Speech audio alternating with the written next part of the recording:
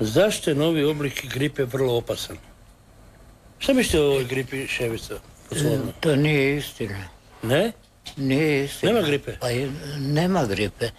To, to u Africi, u Afganistanu, ono, studenti isto što... Ti nemaš gripu, nemaš?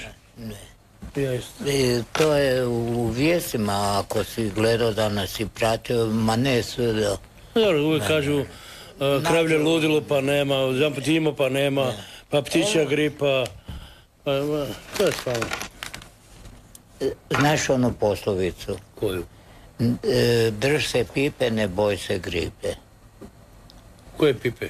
Mirogojčeka misliš? Ma ne Mirogočeka, Baš pipe? općenito. A one pipe, one na pečenici kak ima ono, pumpa. Da, da. Da, da.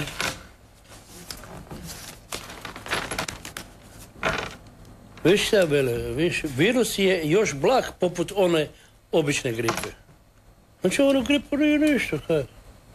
Kaj virus je još blag poput one, onog običnog, obične gripe. E, se cijepio protiv gripe nisi. Ne. Mi se cigani ne cijepimo, mi smo toliko jaki imamo tu takvu krv. Dakle, nas, Ja sam se cijepio. I to mi je... To mi je... Nije samo meni želja, nek... Općenito po, po pitanjima toga održavanja No dobro, tebe drži Mirogojček.